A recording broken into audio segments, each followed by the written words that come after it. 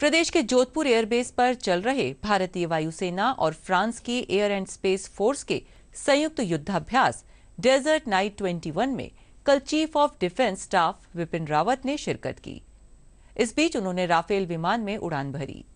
एक सप्ताह चलने वाले इस युद्धाभ्यास में फाइटर जेट और राफेल सहित अन्य विड़ाकू विमान अपनी बेहतरीन युद्ध क्षमता का प्रदर्शन कर रहे हैं।